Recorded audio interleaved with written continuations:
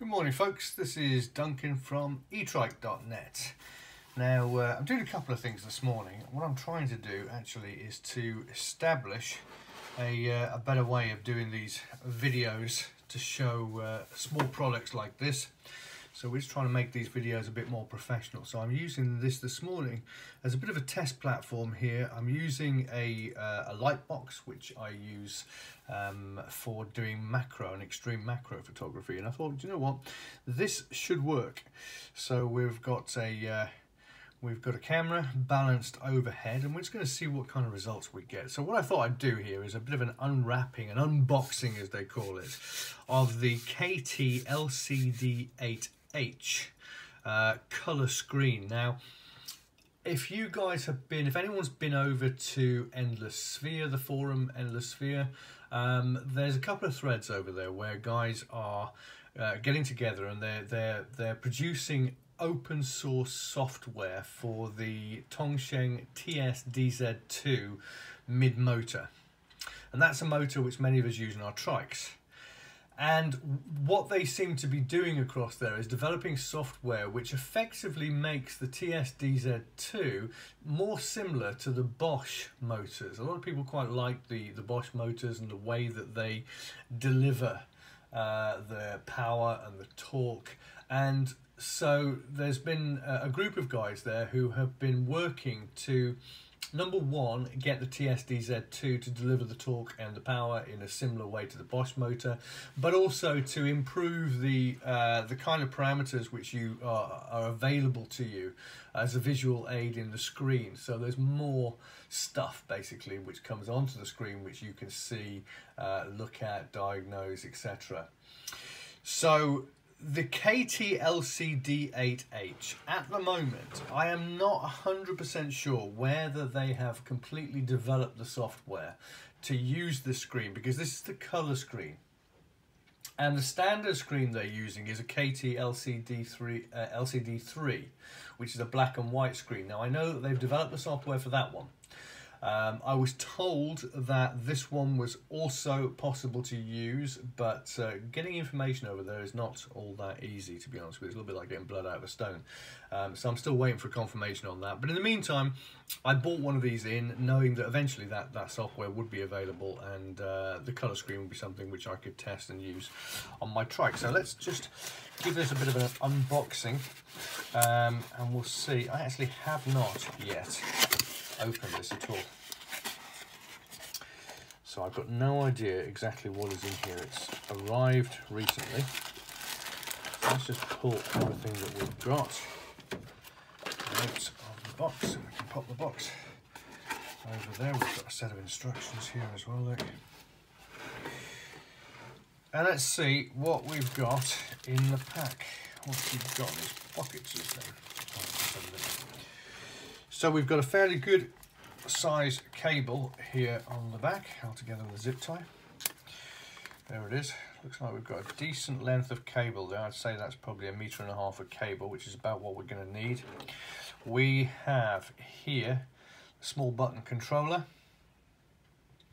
Similar to what you would have on the standard screen on the uh, the Tongsheng there, with obviously it's the uh, toggle up and down through the through the modes and you've got a power button on off right there in the center. And then here we've got the the screen itself. Quality of screen looks decent. Probably looks better than the, uh, standard screen that comes along with the the TS-DZ actually. It's quite nice and it's uh, this looks it's also a lot thinner this one so it's quite a slim profile to that look. Looks good. Uh, we have got that kind of connector. Now the TS uh, the TS-DZ2 screen does use those um, connectors, so I would hope that that would connecting correctly. However, I know that there are some bits, some cables which are going to be required in order to get this uh, to work with the TS-DZ2. I think there might be a company in the States which is making some of those cables which are available Um, again, difficult to get information. I contacted the company uh, some time ago and uh, spoke to the guy actually on the phone even and he did promise to send me some more details which he hasn't done so far. That's about a week ago. So I'll get back onto him and uh, see if we can get some more details. But that just gives you an idea of what that screen looks like over there. And then in this bag here let's look what we've got in here. This looks like it's going to be some mounting brackets if I can get into them. Of course whenever you're going to do a video like this everything works against you.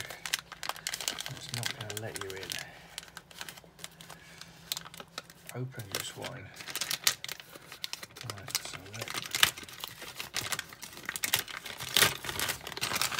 so those out. So that's what comes with it. So you've got that uh, mounting bracket. That would work obviously well with the uh, uh, ice accessory bars ice accessory mounts or indeed as we've talked about on the forum we've talked about on etrike.net that will also work nicely with the straight bar ends which you can buy. Now those straight bar ends are going to save you a lot of money over the ice accessory mount ice accessory mount about 38 pounds. Straight bar ends about five pounds and do pretty much the same thing. So those that bracket there would work then comes with four of these which uh, will just allow you to mount it on smaller ones. By the way I've tried these ones here before and they work well. If you've got mirrors you know the the standard kind of ice kind of mirrors I think most of the mirrors have got a similar diameter to the bar that comes out from them. These work well on there so you could actually mount them uh, straight onto onto that. And then there's a little screw here a couple of those little screws. Look so there we go. That's what you get. You've got then a set of instructions um, which are just going to tell us what each bit does what the display looks like. Try and get a bit closer there. And the various functions on there. Let's have a look. There's an in part, side as well. You can see that fair bit of information there. These are quite complex little units. They, they do provide quite a lot of information. And at this point, I've got no idea exactly how this um, particular display fits exactly with a TS-DZ2, but it is something which I intend to find out because I would like to use that open source software.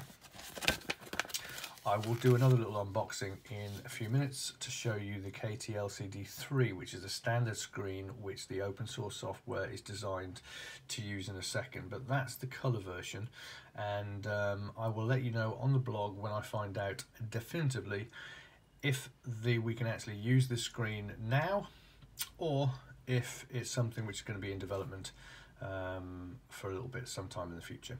All right, that's Duncan from etrike.net. Do subscribe, subscribe to our videos. Uh, we're trying to make these videos better and better each day, each time we post one.